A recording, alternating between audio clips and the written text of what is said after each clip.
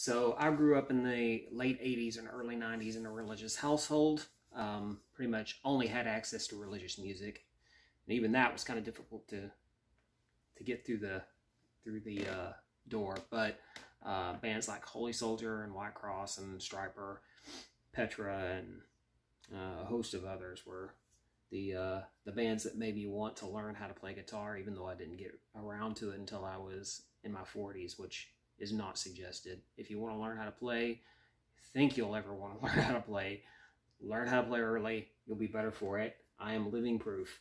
Um, this is an E flat, um, the the main riff to Lies by Holy Soldier. Um, you're playing it in the seventh position up here on the A string. Um, I'm going to go through it slow because if I don't go through it slow and I'm recording myself, I will screw up. I'll probably screw up anyway. Um, but uh, anyway, maybe this will help you.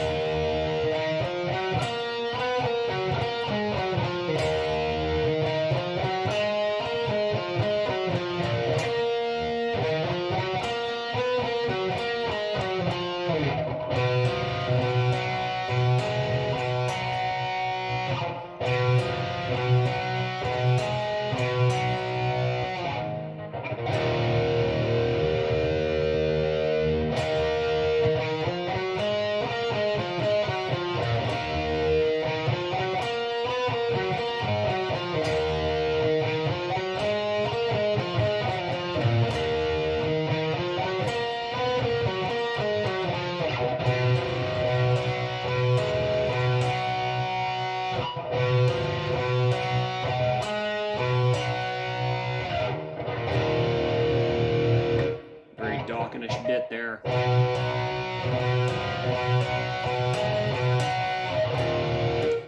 Anyway, um, it's it's a fairly simple riff um, that'll at least get you kind of used to like alternate picking and uh, basic rhythm.